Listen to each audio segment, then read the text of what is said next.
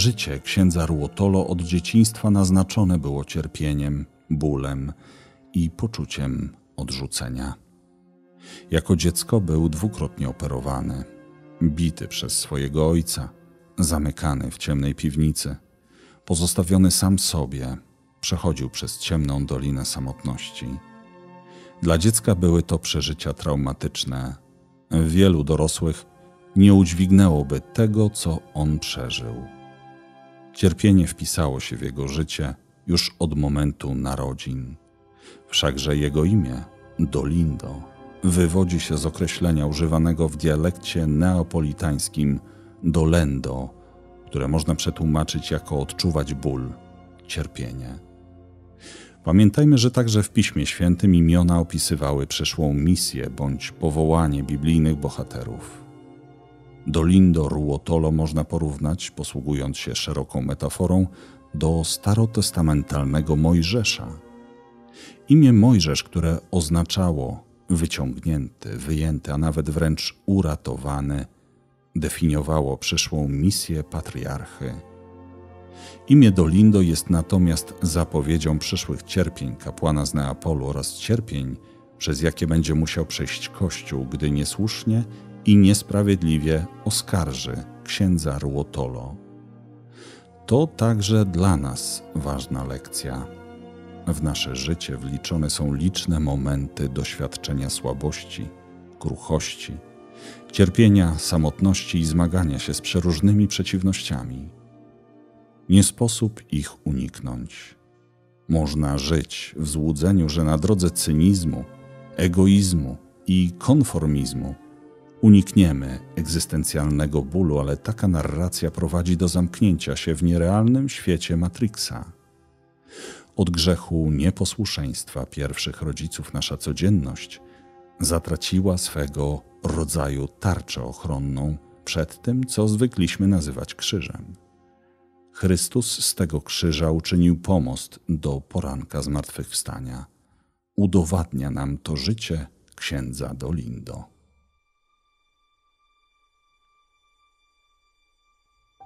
Wydawnictwo M oraz kanał YouTube Kubogu przedstawiają audiobook zrealizowany na podstawie książki Przemysława Janiszewskiego zatytułowane Nadzieja w czasach bez nadziei. Lekcje ufności księdza Dolindo. Zaufanie Bogu jest najpiękniejszym świadectwem naszej wiary i miłości do Niego. Jest to działanie, które przynosi nam w największym stopniu pokój i odrywa nas od istot ziemskich.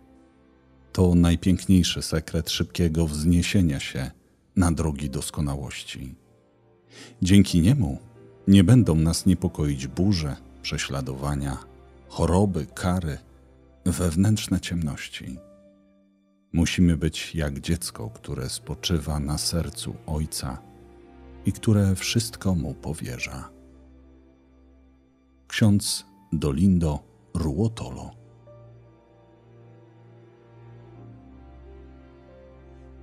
Dolindo Ruotolo znak i dowód nadziei, która zawieść nie może. Panie, ostojo moja i twierdzo, mój wybawicielu. Boże mój, opoko moja, na którą się chronię. Tarczo moja, mocy zbawienia mego i moja obrono.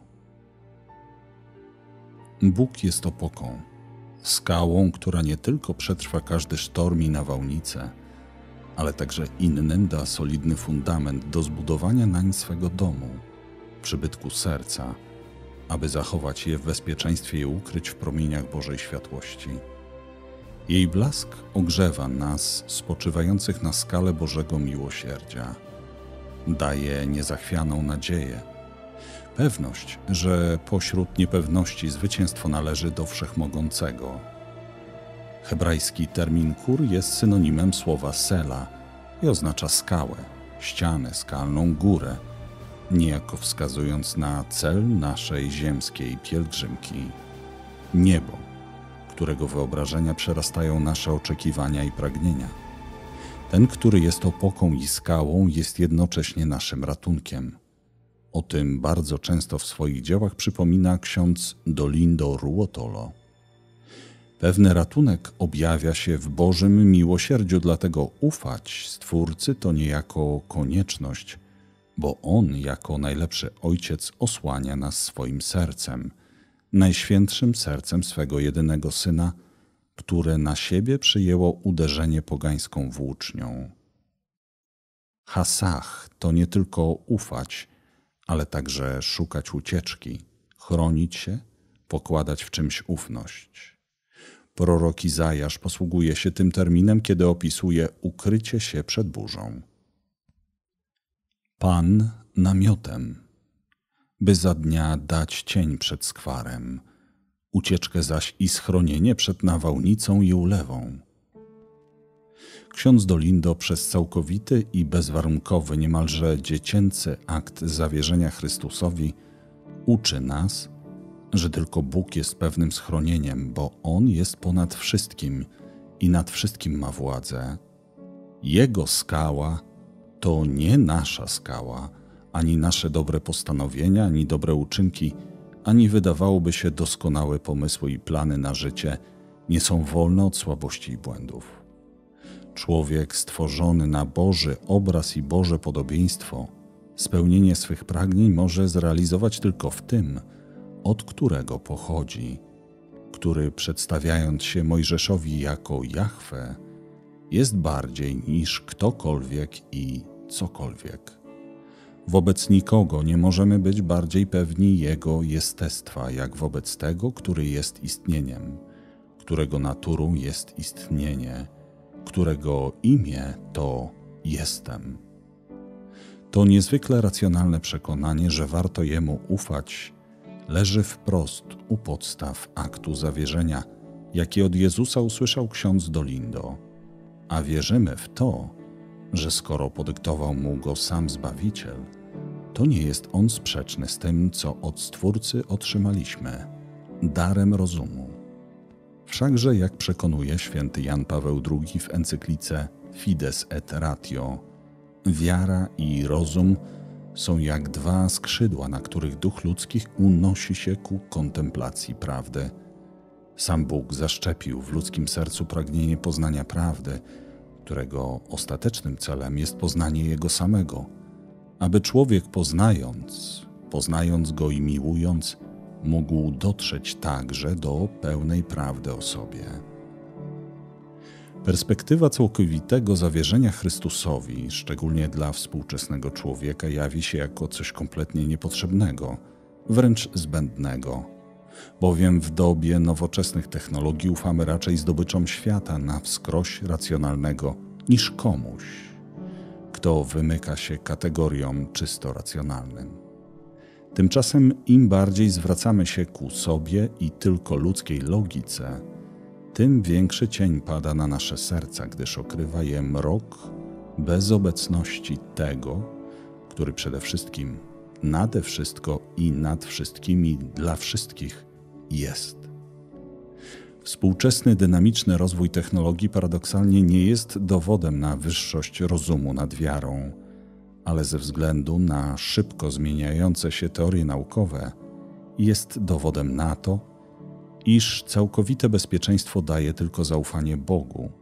Dlatego codziennie powinniśmy w sercu wypowiadać i życiem potwierdzać słowa, jakie ksiądz Dolindo usłyszał od Chrystusa. Tysiąc modlitw nie jest warte tyle, co ten jeden akt oddania się. Jezu, Ty się tym zajmij. Słowa Jezusa wypowiedziane do księdza Dolindo Ruotolo dnia 6 października 1940 roku.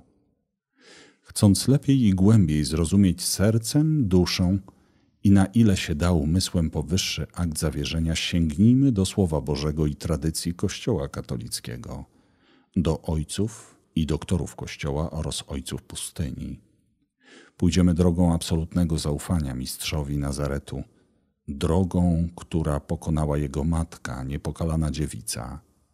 Ona, jako pełna łaski, uczy nas czytać Słowo Boże sercem i w sercu oraz zawierzyć mu sercem i w sercu. To pozwala otworzyć się na łaski płynące z Najświętszego Serca Chrystusa przez pośrednictwo jej niepokalanego serca, który jest kaplicą adoracji Bożego miłosierdzia i Bożej miłości, bez których świat będzie żył w nieustannie powracającym kryzysie wojny i beznadziei. Bez wiary w pomoc Boga nie otworzymy się na nadzieję, a bez nadziei nie damy się poprowadzić miłości, do której podprowadza nas Matka Miłości Niepokalana Dziewica.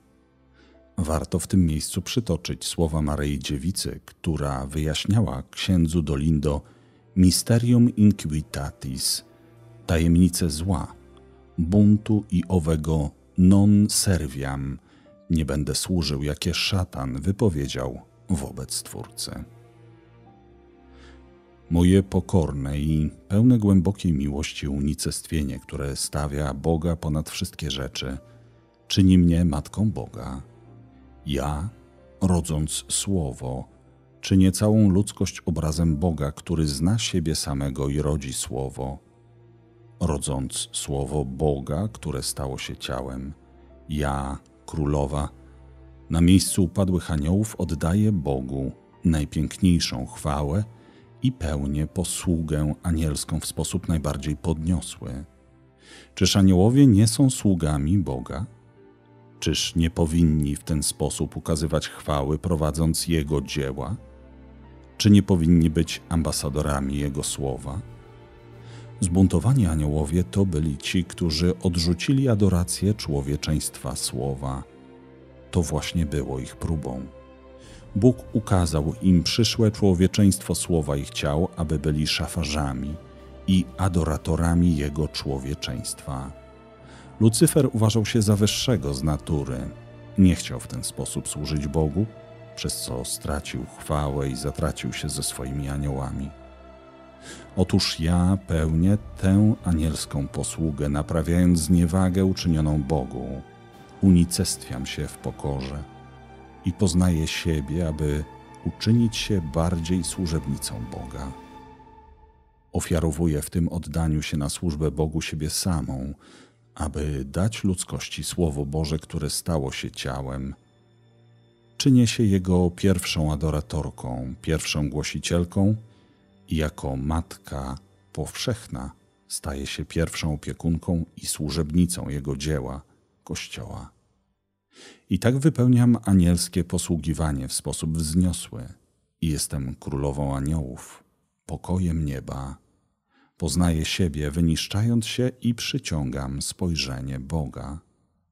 W ten sposób miłość, która miała zapłonąć w ludzkości na obraz wiecznej miłości, paliła się w moim sercu, a ludzkość we mnie powiększała się, bo dała się Bogu z wdzięcznością, uświęciła się, bo uwierzyła w Niego i postawiła Go ponad wszystkie inne rzeczy. Niepokolana uczy nas nie tylko bezwarunkowej miłości, ale przede wszystkim i najpierw, jako swego rodzaju kroku poprzedzającego zawierzenia Bogu, pójścia drogą jej fiat.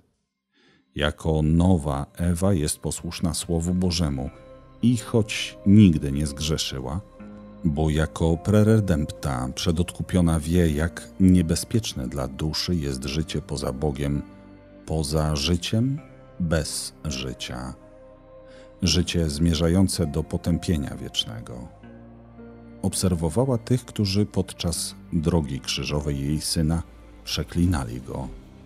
Nie oceniała ich, nie oczerniała, nie dyskutowała z nimi towarzyszyła tym, których serca zanurzone były w mroku niewiedzy. Tej niewiedzy, która nie towarzyszyła Lucyferowi, niosącemu światło, pierwszemu buntownikowi. Diabeł od początku wiedział, kim jest Bóg, bo nie musiał w niego wierzyć.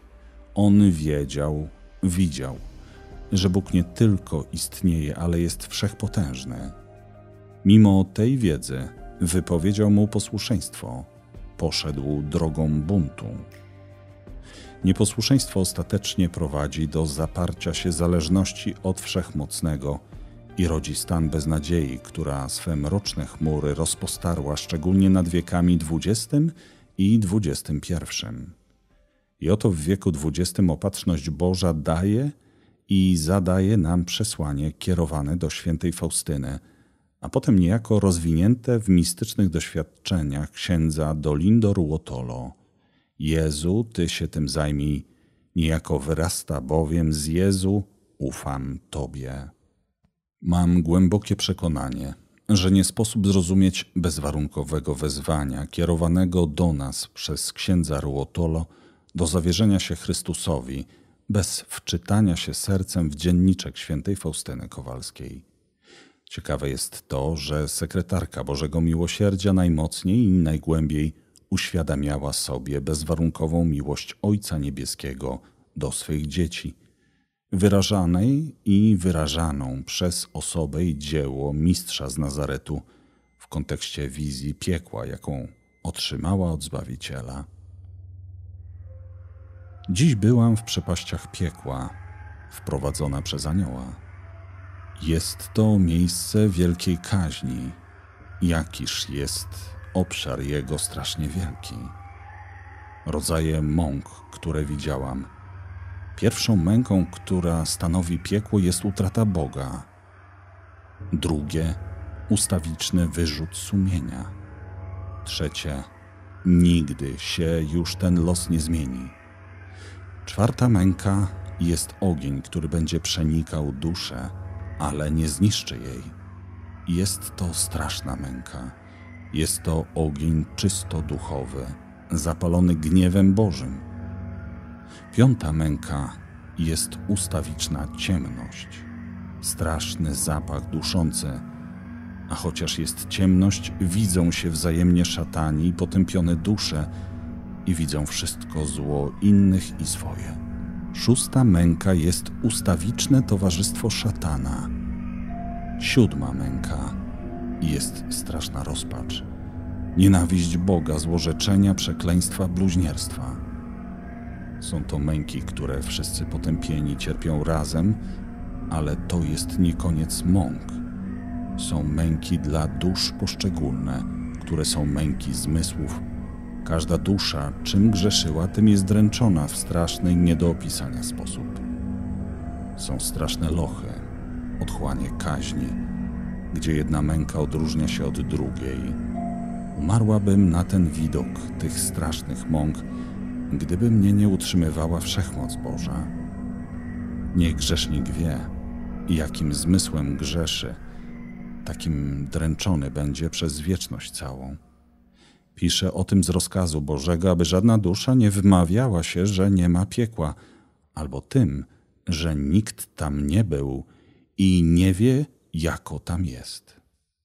Ja, siostra Faustyna, z rozkazu Bożego byłam w przepaściach piekła na to, aby mówić duszom i świadczyć, że piekło jest.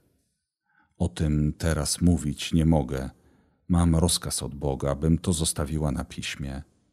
Szatani mieli do mnie wielką nienawiść, ale z rozkazu Bożego musieli mi być posłuszni. To, com napisała, jest słabym cieniem rzeczy, które widziałam.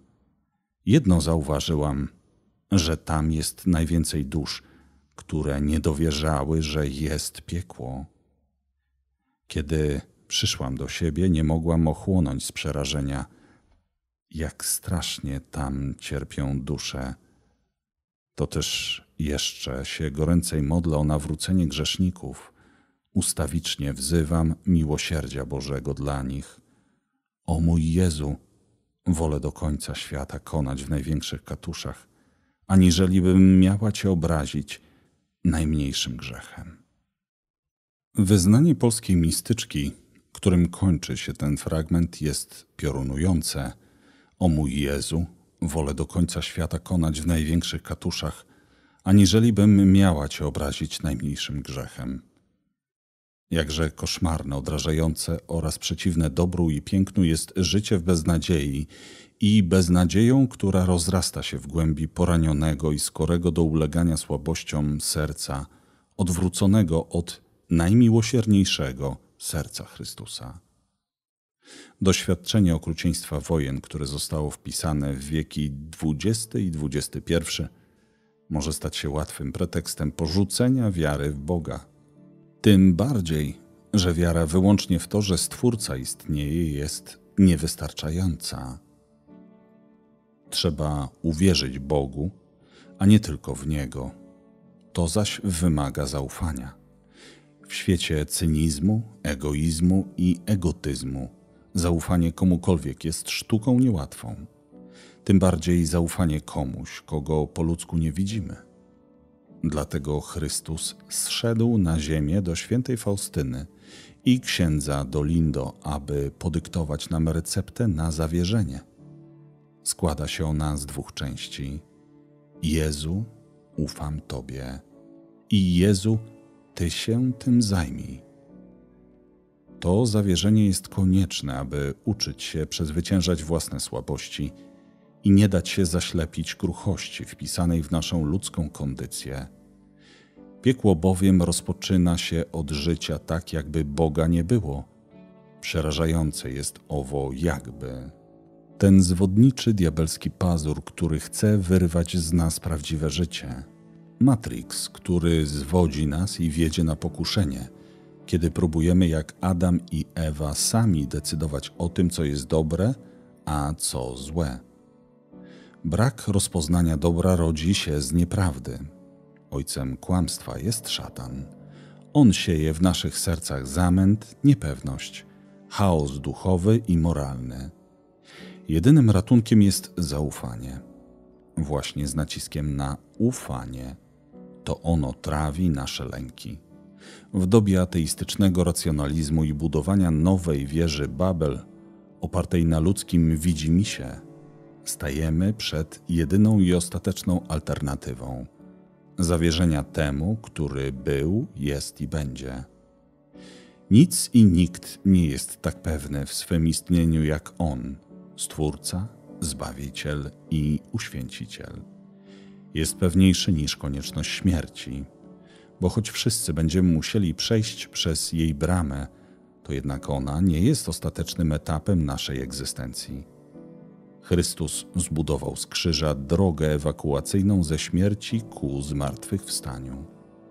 Pewność śmierci została spalona na ołtarzu męki i śmierci Zbawiciela i rozproszona przez pewność nadziei, która nigdy nie zawodzi.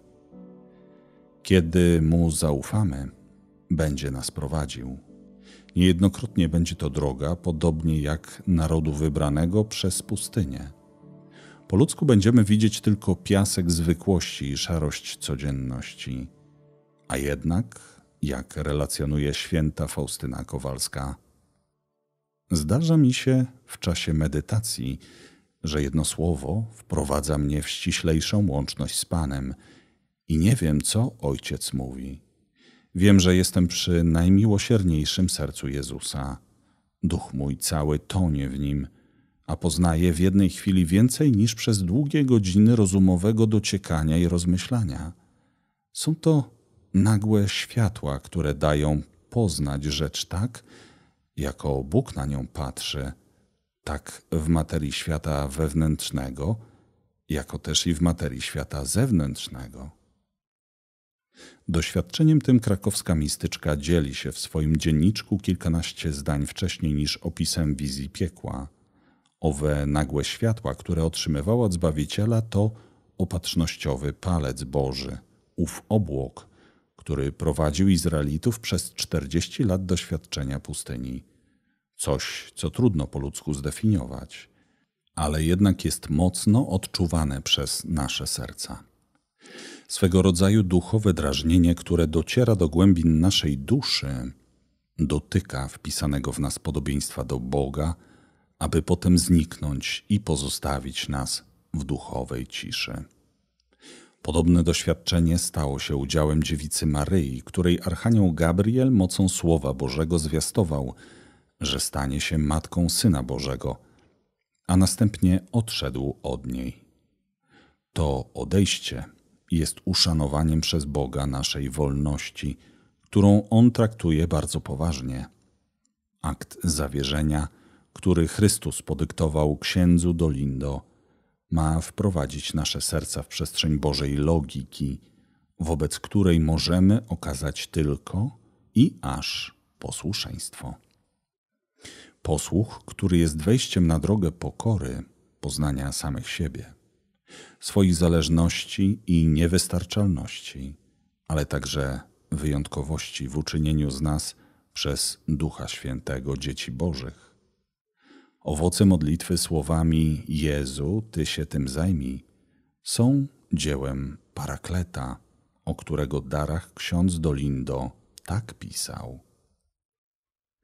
Dary Ducha Świętego pielęgnuje się również walcząc przeciwko duchowi tego świata, który jest dokładną odwrotnością Ducha Bożego. Człowiek zmysłowy, albo jak nazywa go święty Paweł, ziemski, nie przyjmuje spraw Ducha Bożego. Są dla niego szaleństwem i nie potrafi ich pojąć. Aby pokonać Ducha Świata, trzeba uciekać przed tymi wszystkimi nawykami współczesnego życia, które go w nas wzmacniają teatrem, kinem, szkodliwą lub błahą prasą, niebezpiecznymi przyjaźniami, światowymi rozmowami, a należy czytać Ewangelię, Pismo Święte, żywoty świętych i to wszystko, co może oświecić duszę na Bożych drogach. Tak, akt zawieszenia Jezu, Ty się tym zajmij, jest wyrazem szaleństwa. No, ale to przecież szaleńcy Ducha Świętego zdobywają niebo. Po ludzku jednak szaleństwem wydaje się żyć i wierzyć, że Bóg się wszystkim zajmie. Przecież bez dłuższego zastanawiania się moglibyśmy podać mnóstwo argumentów przemawiających za tym, że Stwórca zdaje się nie wysłuchiwać naszych modlitw. Ileż to razy prosiliśmy Go o coś, a On naszych próśb nie spełnił. Przynajmniej tak to wygląda z naszej, li tylko ludzkiej perspektywy perspektywy, która częściej wydaje się być horyzontalna niż wertykalna. Tymczasem Boże działanie dostrzeżemy tylko wówczas, kiedy to, co horyzontalne, złączymy z tym, co wertykalne. W ten sposób otrzymamy krzyż, pomost i bramę ze śmierci do życia. Z tego, co słabe, ku temu, co mocne, z tego, co kruche, ku temu, co niezniszczalne z ciemności ku światłości, z grobu ku porankowi zmartwychwstania, który jest nowym początkiem. Dzień zmartwychwstania to niejako ósmy dzień stworzenia, nowego stworzenia. To droga ku nowej ziemi i nowemu niebu. To jednak może się dokonać tylko w nowym człowieku, w sercu, uczynionym na wzór Najświętszego Serca Chrystusa. Jezu, Ty się tym zajmij jest zawołaniem duszy, która pragnie wody żywej. Ta zaś rozsadza bukłaki ludzkich planów i wysiłków. Chcąc zaspokoić nią tęsknotę swego serca, musimy całkowicie i bezwarunkowo zdać się na nadzieję, która nie zawodzi, z której czerpiemy pełnymi garściami przez zaufanie. Nasze serca muszą wejść na drogę nawrócenia i oczyszczenia, aby wyzbyć się nieprzebaczenia, zawiści, nienawiści i poczucia beznadziei.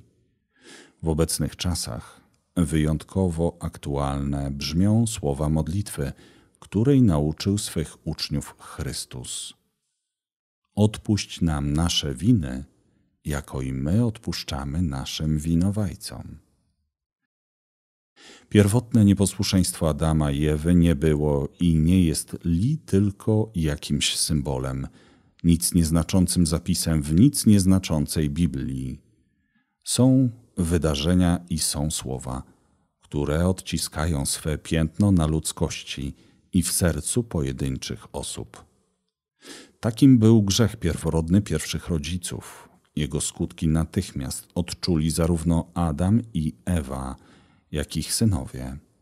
Kain z zazdrości zabił Abla. Nienawiść została wpisana w duchowy kod genetyczny osoby ludzkiej. Człowieka powołanego do miłości. Stworzonego z miłości przez miłość, w mocy Ducha Świętego z zamysłu Stwórcy i na drodze wypowiedzianego słowa prawdy i życia. Tak łatwo pójść ścieżką prowadzącą nie tylko ku nieszczęściu wiecznemu, ale także zanegowaniu godności osoby ludzkiej. Tak trudno zawierzyć temu, który jest. Jest bardziej niż wszystko, co wydaje się nam być. Jak rzadko uczymy się na błędach, zarówno własnych, jak obcych. Czy faktycznie każdy z nas musi doświadczyć cierpienia i samotności, aby uświadomić sobie swoją samą niewystarczalność i przekuć wiarę w Boga na zawierzenie Mu, zaufanie? Wiek XX i także już XXI są naznaczone krwią niewinnych, rozlaną w konfliktach zbrojnych toczonych w imię zapanowania nad światem. Światem stworzonym przez Stwórcę z miłości ku miłości. Jak mawia mój przyjaciel, tutaj na Ziemi jesteśmy tylko w jednym celu, aby nauczyć się kochać. Wszystko jest temu podporządkowane. Tak miłość wszystko wyjaśnia, jak zwykł powtarzać Karol Wojtyła. Miłość mi wszystko wyjaśniła. Miłość wszystko rozwiązała.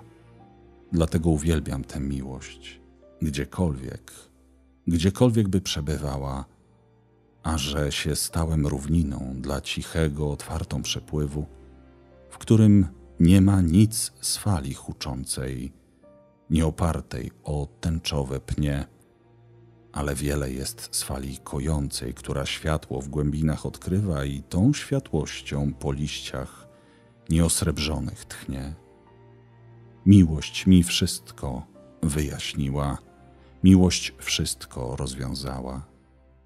Dlatego uwielbiam tę miłość, gdziekolwiek by przebywała.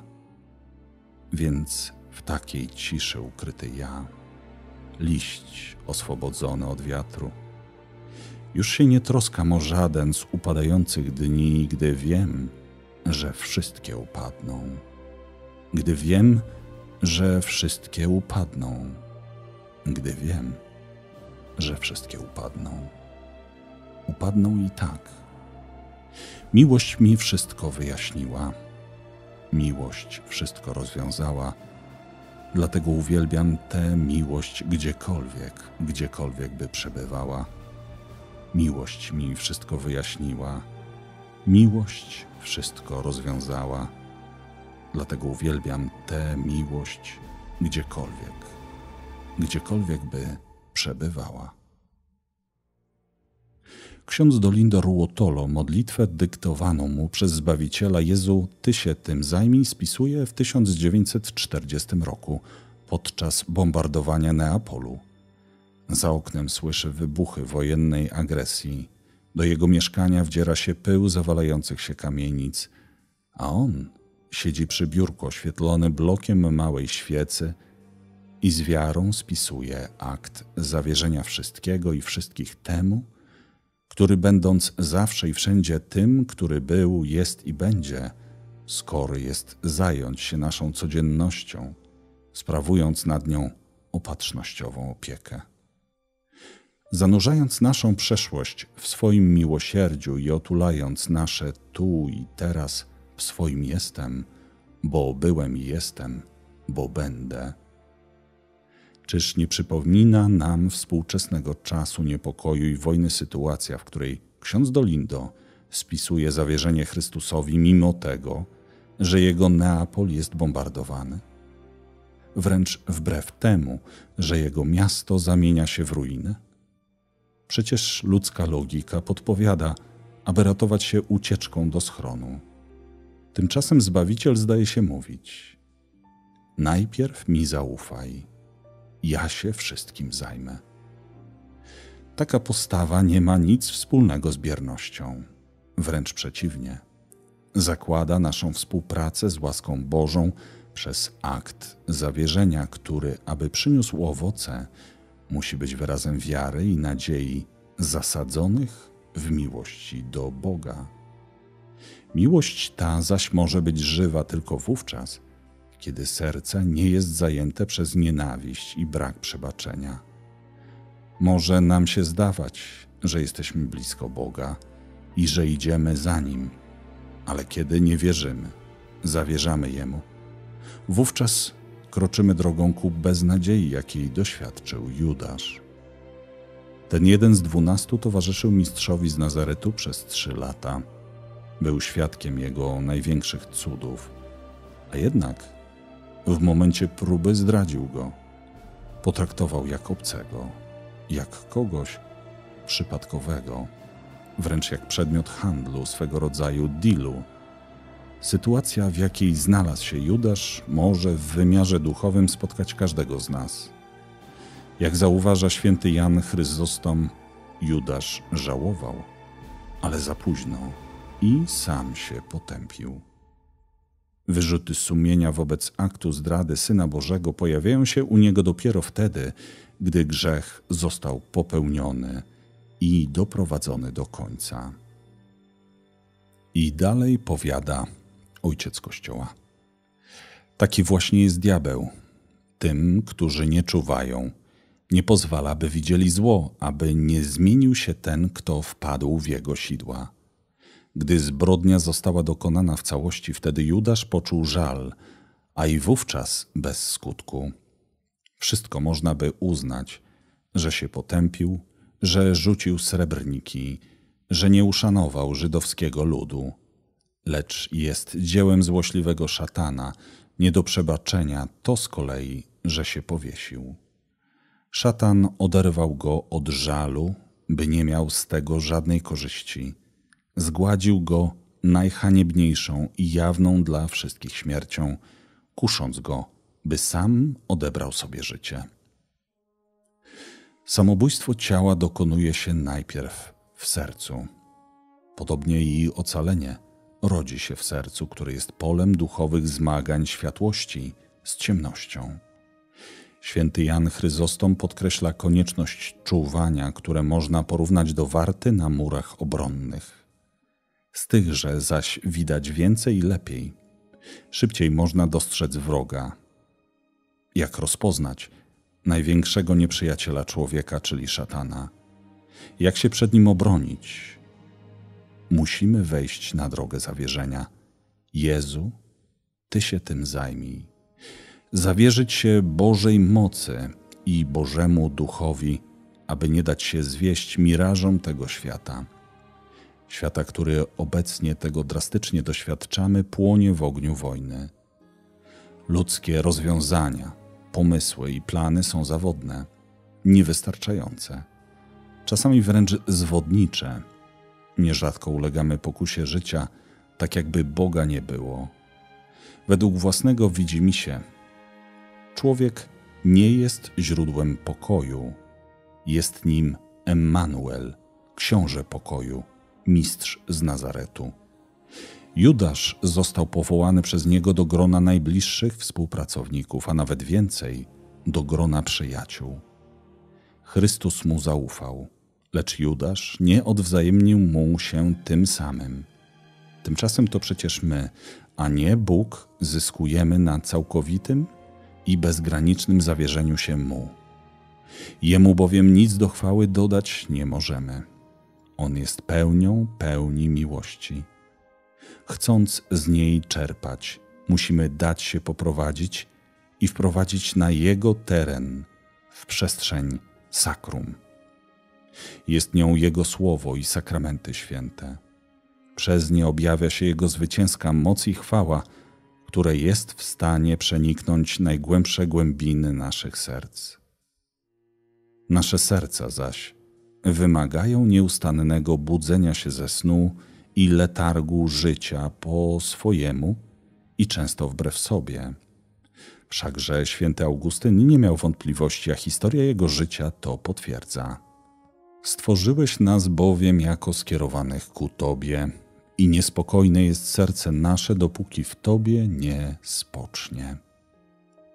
Owa niespokojność to nie tylko brak pokoju serca, ale także wręcz świdrująca głębiny naszego jestestwa tęsknota za tym, który najbardziej jest.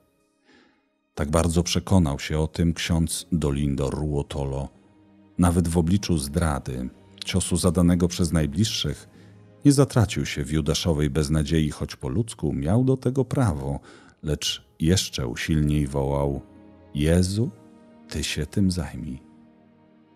Wzywał Zbawiciela słowami, które jawią się być ciągiem dalszym tego, co usłyszała święta Faustyna Kowalska: Jezu, ufam Tobie. Jeśli mu ufam, to wszystko dobrze się skończy, choć nie będzie to musiało oznaczać rozumianej po ludzku pomyślności. To, co jedynie ludzkie, jest niewystarczające, aby wytłumaczyć wyjątkowość osoby ludzkiej uczynionej na Boży, nie szatański obraz i Boże, nie diabelskie podobieństwo. Zaufać to nieustannie ufać, wbrew nadziei. Nadzieja zaś, jak naucza święty Paweł, zawieść nie może. Stanowiona podstawę aktu zawierzenia, podyktowanego księdzu Dolindo przez Chrystusa. Jezu, Ty się tym zajmij. Chcąc lepiej ów zrozumieć, odnieśmy się do słów świętego Pawła. Dostąpiwszy więc usprawiedliwienia przez wiarę, zachowajmy pokój z Bogiem przez Pana naszego Jezusa Chrystusa, dzięki któremu uzyskaliśmy przez wiarę dostęp do tej łaski, w której trwamy i chlubimy się nadzieją chwały Bożej. Ale nie tylko to, lecz chlubimy się także z ucisków, wiedząc, że ucisk wyrabia wytrwałość, a wytrwałość wypróbowaną cnotę, wypróbowana cnota zaś nadzieję a nadzieja zawieść nie może, ponieważ miłość Boża rozlana jest w sercach naszych przez Ducha Świętego, który został nam dany. Biblia Tysiąclecia w komentarzach do powyższego fragmentu wyjaśnia wprost, że owa łaska, o której mowa, oznacza życie w przyjaźni z Chrystusem. Przyjacielowi zaś i tylko przyjacielowi można zaufać. Jezu, Ty się tym zajmij oznacza, Przyjacielu, ufam Ci, bo komu innemu mógłbym zaufać, jak nie przyjacielowi. Co więcej, święty Paweł przekonuje, że nadzieją powinniśmy się chlubić, ponieważ odnosi się ona do Bożej chwały, która najmocniej i najwyraźniej rozbłysła w dniu zmartwychwstania Mistrza z Nazaretu. Któż jak Bóg? Możemy śmiało zawołać. Zatem poza Bogiem Ojcem, Stwórcą, Synem Bożym Zbawicielem i Duchem Świętym, Uświęcicielem, nie ma nikogo bardziej godnego zaufania. Poza zmartwychwstałym nie ma lepszego fundamentu, na którym możemy się oprzeć i z całą śmiałością, szczerością i miłością wyznać: Jezu, Ty się tym zajmij. I w ten sposób ominąć dziurawy most beznadziei, po którym ku zagładzie kroczył Judasz. Chrześcijańska nadzieja przekracza czas i przestrzeń, sięgając dóbr eschatologicznych zmartwychwstania, który jest tak pewny jak śmierć. Jednakże śmierć jest wyłącznie zmianą sposobu życia. Zmartwychwstanie zaś bramą do nowego nieba i nowej ziemi, bądź ku zatraceniu wiecznemu w piekle. Granica między niebem a piekłem rozciąga się wzdłuż naszej wolności, której pełnię odzyskujemy tylko przez poznanie prawdy. Prawdą tą jest zaś Chrystus, droga, prawda i życie. Droga wymaga wysiłku opartego na zaufaniu temu, który ją zna. Prawda domaga się współpracy, otwarcia się na nią rozumem i sercem Życie zaś jest nam dane i zadane, abyśmy nawet mimo i wbrew pozornej utracie życia ziemskiego zyskali wieczne. Śmiało można zaryzykować tezę, że akt zawierzenia, który od Jezusa otrzymał ksiądz Dolindo, jest na wskroś biblijny, bowiem jak słusznie przekonuje święty Paweł. Sądzę bowiem, że cierpień teraźniejszych nie można stawiać na równi z chwałą, która ma się w nas objawić. Bo stworzenie z upragnieniem oczekuje objawienia się synów Bożych. Stworzenie bowiem zostało poddane marności, nie z własnej chęci, ale ze względu na tego, który je poddał, w nadziei, że również i ono zostanie wyzwolone z niewoli zepsucia, by uczestniczyć w wolności i chwale dzieci Bożych. Wiemy przecież, że całe stworzenie aż dotąd jęczy i wzdycha w bólach rodzenia. Lecz nie tylko ono, ale i my sami, którzy już posiadamy pierwsze dary ducha, i my również całą istotą swoją wzdychamy, oczekując odkupienia naszego ciała. W nadziei bowiem już jesteśmy zbawieni. Nadzieja zaś, której spełnienie już się ogląda, nie jest nadzieją, bo jak można się jeszcze spodziewać tego, co się już ogląda? Jeżeli jednak, nie oglądając, spodziewamy się czegoś, to z wytrwałością tego oczekujemy. Podobnie także duch przychodzi z pomocą naszej słabości. Gdy bowiem nie umiemy się modlić tak jak trzeba, sam duch przyczynia się za nami w błaganiach, których nie można wyrazić słowami. Ten zaś, który przenika serce, zna zamiar ducha, wie, że przyczynia się za świętymi zgodnie z wolą Bożą.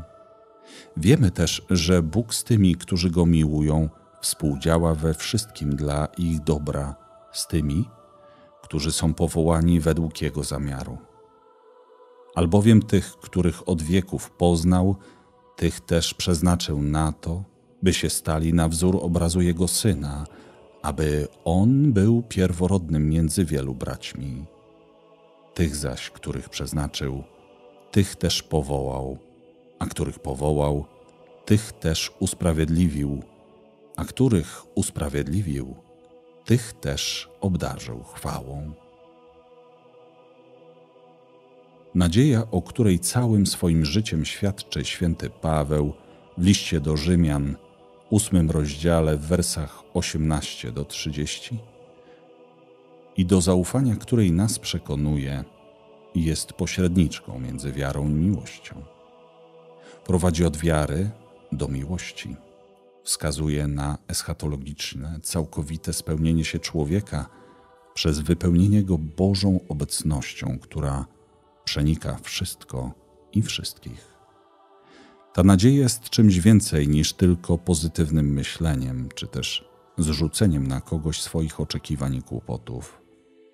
Ona jest w Bogu i Bóg jest w niej.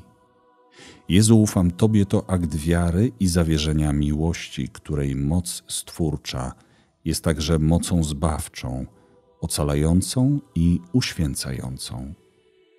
Zatem, tak jak zwodnicza jest beznadzieja, której uległ Judasz, tak niezawodna jest nadzieja, której przez akt łzawej pokuty zaufał Piotr po zaparciu się mistrza z Nazaretu. Przez akt zawierzenia Jezu ufam Tobie, mamy dostęp do tej nadziei, która wypełnia wieczność, a zatem nigdy się nie kończy. Jej horyzontem jest bycie umiłowanym na wieki i ponad wieki, ponad wszelki ucisk, prześladowanie, ból i cierpienia, których nie można stawiać na równi z chwałą, która ma się w nas objawić. Jest on odpowiedzią na pragnienie wpisania w ludzką naturę i wszelkie stworzenie, które jęczy i wzdycha w bólach rodzenia, oczekując wyzwolenia z grzechu, zła i śmierci. Nie otrzymaliście przecież ducha niewoli, by się znowu pogrążyć w bojaźni, ale otrzymaliście ducha przybrania za synów, w którym możemy wołać Abba, Ojcze. Zatem, kiedy całym sercem, całą duszą i całym umysłem wymawiamy słowa Jezu, Ty się tym zajmij, to wyrażamy swoje zaufanie wobec tego, dla którego jesteśmy już nie tylko przyjaciółmi, ale przybranymi dziećmi. Niezwykłe jest to, że Syn Boży woła do swojego Ojca owymi słowami: Abba, Ojcze, także w ogrodzie oliwnym, w godzinie największej trwogi, ciemności i opuszczenia. I choć wydaje się, że nie otrzymuje od Niego wówczas odpowiedzi, to powierza się nadziei, która ostatecznie przekracza próg śmierci. Kiedy wyznajemy zmartwychwstałemu, temu, który doświadczył samotności, cierpienia i śmierci, że mu ufamy i pozwalamy, aby wszystkim się zajął, to otrzymujemy dokładnie tę samą pewność zwycięstwa, którą otrzymał on od Ojca, wszystko dobrze się skończy, choć na pewno nie będzie oznaczało pojmowanej to po ludzku pomyślności. Myśli Boga bowiem nie są naszymi myślami, ani Jego drogi naszymi drogami. I chwała Mu za to, że tak jest, bo nasza ludzka siła często okazuje się zwykłą bezsilnością. Wszechmocny pozwala się odnaleźć w zaufaniu Mu. Prorok Izajasz bowiem wskazuje: Szukajcie Pana, gdy się pozwala znaleźć. Wzywajcie Go, dopóki jest blisko. Niechaj bezbożny porzuci swą drogę i człowiek nieprawy swoje knowania. Niech się nawróci do Pana, a ten się nad nim zmiłuje i do Boga naszego, gdyż hojny jest w przebaczaniu. Bo myśli moje nie są myślami waszymi, ani wasze drogie moimi drogami wyrocznia Pana. Bo jak niebiosa górują nad ziemią, tak drogi moje nad waszymi drogami i myśli moje nad myślami waszymi. Dolindo Ruotolo, Mojżesz czasów beznadziei. Ksiądz Dolindo jest świadkiem potężnej mocy prostej modlitwy, które składa nasze serca w Najświętszym Sercu Chrystusa przez niepokalane serce Maryi. Kiedy bowiem chcemy polegać tylko na nas samych i na własnej sile, okazuje się, że nasza siła często jest zwykłą bezsilnością, a my potrzebujemy ukrycia w ukrytej, która odkrywa przed nami zakrytego w modlitwie Jezu, Ty się tym zajmij, mistrza z Nazaretu. Przy nim i z nim niemożliwe staje się możliwe. Ciemności rozbłyskują światłem, a dolina wiedzie na szczyt. Przekracza to ludzkie możliwości i ludzką logikę, dlatego domaga się ciągłego powtarzania w sercu, niejako na wzór modlitwy Jezusowej, słów aktu zawierzenia, które od Jezusa usłyszał ksiądz Ruotolo. Wszakże psalmista przekonuje, bo jak wysoko niebo wznosi się nad ziemią, tak trwała jest Jego łaska dla tych, co się Go boją. Jak jest odległy wschód od zachodu, tak daleko odsuwa od nas nasze występki. Za słowami Boga idą zawsze czyny. On udowadnia nam całym sobą, co mówi. Jego dzieła wskazują na Niego, a On oddaje się nam jako pokarm w sakramencie Eucharystii. Ten, przez którego zawsze zwyciężamy, zawierzając Mu się, jest nam bliski jak pokarm. On sam jest, bo takie Jego imię, Jahwe, jest pokarmem wodą żywą dającą życie i zachowującą w nas życie, zachowującą nas przed zepsuciem i zgniciem. Bez niej wszystko w nas usycha, umiera. Tak jak nadzieja ożywia, tak beznadzieja zabija. Warunkiem otrzymania życia i życia życiem, nawet pośród duchowych ciemności, jest zaufanie. Jaką mamy gwarancję? Czy warto pójść za ukrytym w zawierzeniu? A czyż może zawieść ten, który pokonał śmierć? Który wydobył z Szeolu Adama i Ewę, pierwszych rodziców, którzy wedle Bożej sprawiedliwości przez bunt, nieposłuszeństwo zasłużyli na totalną i wieczną eksmisję z nieba. Bunt przeciwko Stwórcy pierwszych rodziców okazał się dramatyczny w swych skutkach dla ich potomstwa. Dosięgnął bowiem każdego z nas. Wszakże rodzimy się z grzechem pierworodnym – gładzonym przez sakrament Chrztu Świętego i zmagamy się przez całe życie z konsekwencjami owego nieposłuszeństwa. Bowiem choć wiemy, co jest dobre, a co złe, to jak naucza święty Paweł, łatwiej przychodzi czynić nam zło. Nie czynię bowiem dobra, którego chcę, ale czynię to zło, którego nie chcę. Dlatego w ocenie tego, co jest prawdą, a co kłamstwem, potrzebujemy posłuszeństwa, dać posłuch Słowu Bożemu i pójść za nim drogą zaufania. Wymaga to ciągłego nawracania się, aby światło Ducha Świętego przenikało nasze serca. Tylko w Jego blasku widzimy zarówno duchowe zagrożenia, jak i Boże obietnice. Jak przekonuje ksiądz Dolindo, Przede wszystkim należy pielęgnować wewnętrzne skupienie i nawyk częstego myślenia o Bogu. Wtedy Duch Święty przemawia do serca, dając duszy światło, siłę i pocieszenie. Trzeba przywyknąć do ofiarowania czegoś Panu, a więc ćwiczyć się w rezygnacji z siebie i pokucie. Trzeba modlić się i często wzywać Ducha Świętego z ogromną dziecięcą ufnością, w jedności z Jezusem Chrystusem, który obiecał, że ześle nam swojego ducha oraz w jedności z Najświętszą Maryją Panną, jak to czynili apostołowie w wieczerniku. Zatem, jeśli chcemy kroczyć pewną drogą ufności Bożej, powinniśmy współpracować z tym, który podaje nam ratunkową rękę i otwiera na nas swoje serce. Jedynie otwarte serce jest w stanie nie tylko dostrzec światło, ale także wpuścić je do wnętrza, aby rozświetliło głębiny ludzkiej duszy. Ksiądz Dolindo radzi, aby często myśleć o Bogu. Jak to uczynić, skoro On wymyka się ludzkim kategoriom?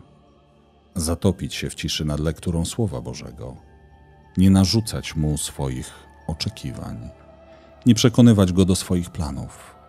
W pokorze, czyli uznaniu prawdy o sobie, że jestem słaby i kruchy, ale i mocny, bo stworzony na Boży obraz, wejść na drogę zaufania, ciągłego zawierzania codzienności Bożej miłości.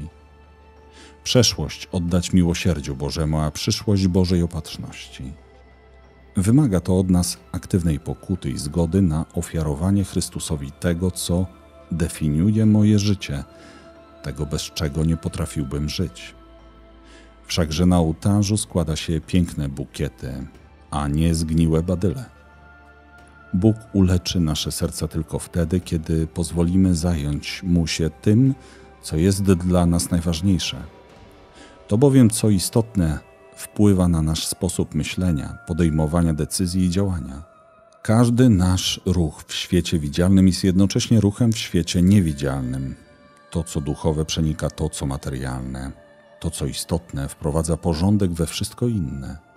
Jeśli w centrum Twojego i mojego ja będzie On, to Duch Święty otrzyma dostęp do całości naszego jestestwa. To zaś domaga się zgody na wypalenie w nas przez ogień pocieszyciela buntu. Niejednokrotnie, aby pokonać w sobie nieposłuszeństwo wobec Stwórcy zamkniętego w Słowie Bożym, należy wejść na ścieżkę pokajania, które przekracza zewnętrzne czy spełniane jedynie z poczucia obowiązku akty pokutne. Jezu, Ty się tym zajmij brzmi również jako Jezu, daj mi ducha pokajania. Czym jest ów duch?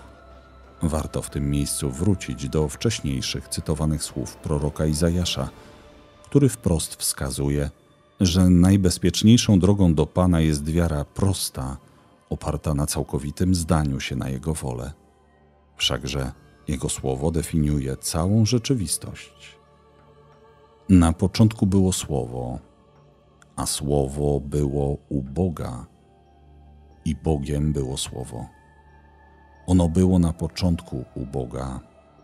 Wszystko przez nie się stało, a bez niego nic się nie stało. Co się stało? W nim było życie, a życie było światłością ludzi, a światłość w ciemności świeci i ciemność jej nie ogarnęła. Powyższe słowa to dla nas dobra nowina, wręcz najlepsza nowina. Nie było, nie ma i nie będzie lepszej. Jeśli bowiem Chrystus domaga się od nas przez mistyczne doświadczenie księdza Dolindo całkowitego zaufania mu, aby on wszystkim się zajął, to znaczy, że Bóg zajął się tym wszystkim, a przede wszystkim historią życia i zbawienia każdego z nas, zanim go o to poprosiliśmy. Wszakże dobry ojciec zna potrzeby, ale i słabości swych dzieci, a wszechmocny zna je najlepiej, doskonale. W nim jest życie, które zwycięża śmierć i światłość, która rozświetla ciemności.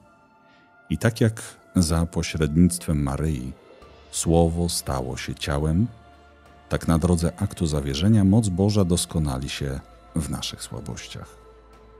Słowo Chrystus jest pokarmem dla naszych dusz. Jego głód to największy duchowy kataklizm, jaki może nawiedzić ludzkie serca. Wyraźnie podkreśla to prorok Amos.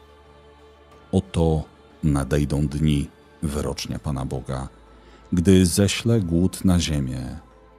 Nie głód chleba, ani pragnienie wody, lecz głód słuchania słów pańskich.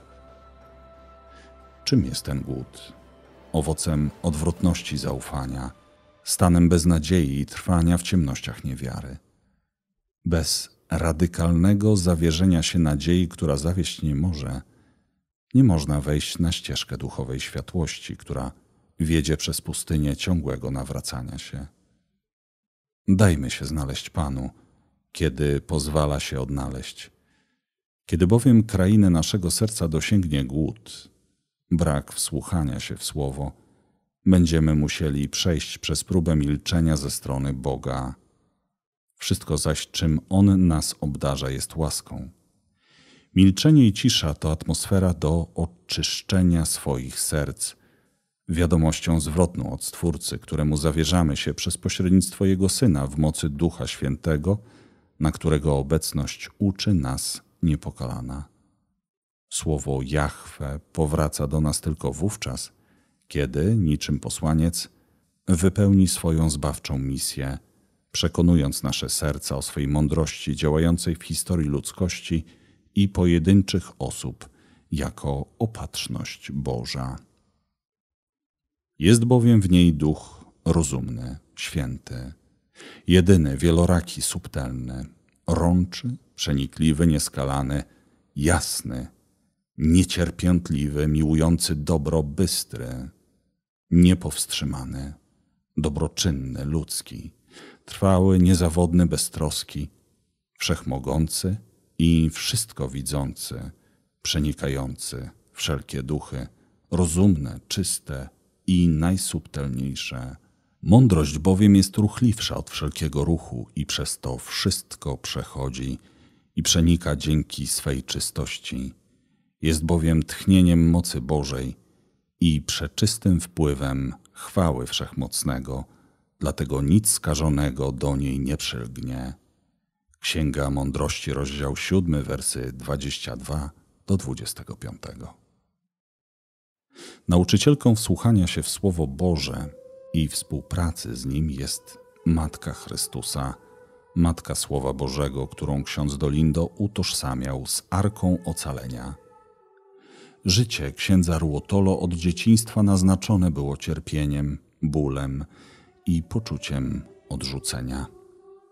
Jako dziecko był dwukrotnie operowany, bity przez swojego ojca, zamykany w ciemnej piwnicy, pozostawiony sam sobie, przechodził przez ciemną dolinę samotności. Dla dziecka były to przeżycia traumatyczne.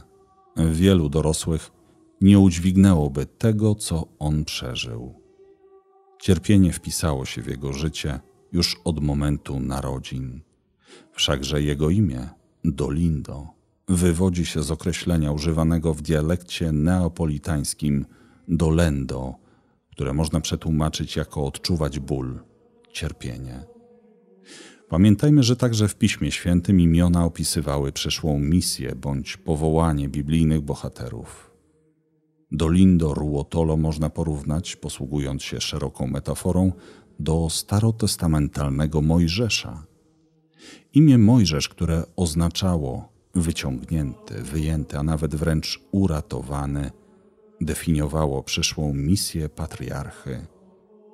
Imię Dolindo jest natomiast zapowiedzią przyszłych cierpień kapłana z Neapolu oraz cierpień, przez jakie będzie musiał przejść Kościół, gdy niesłusznie i niesprawiedliwie oskarży księdza Ruotolo. To także dla nas ważna lekcja. W nasze życie wliczone są liczne momenty doświadczenia słabości, kruchości, cierpienia, samotności i zmagania się z przeróżnymi przeciwnościami. Nie sposób ich uniknąć. Można żyć w złudzeniu, że na drodze cynizmu, egoizmu i konformizmu unikniemy egzystencjalnego bólu, ale taka narracja prowadzi do zamknięcia się w nierealnym świecie Matrixa. od grzechu nieposłuszeństwa pierwszych rodziców nasza codzienność zatraciła swego rodzaju tarczę ochronną przed tym, co zwykliśmy nazywać krzyżem. Chrystus z tego krzyża uczynił pomost do poranka zmartwychwstania. Udowadnia nam to życie księdza Dolindo.